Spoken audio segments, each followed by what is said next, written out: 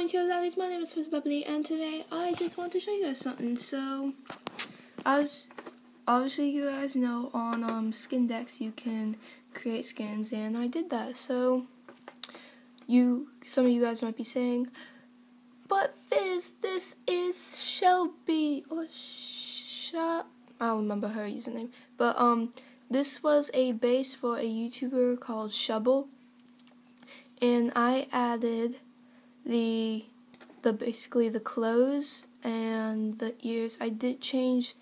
There was hair in the back, but I changed that. And yeah, um, the crown, the hair, and the eyes. Th- that was all here. This was just some base, and then I made this. So sadly, I cannot upload it to Minecraft, but I did save it, so I used it. Um, yeah, I just wanted to show you guys that. And if you're wondering about the intro, if you saw my last video, you know why I said that.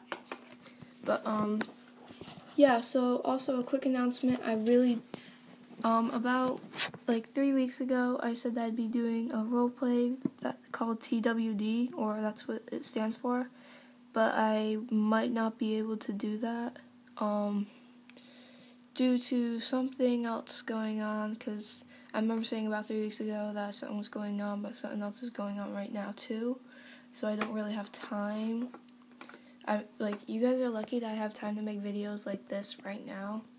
But um, I try to be doing gaming videos, just not Minecraft. So thank you guys for understanding. But until then, guys, my name's Fizz Bubbly.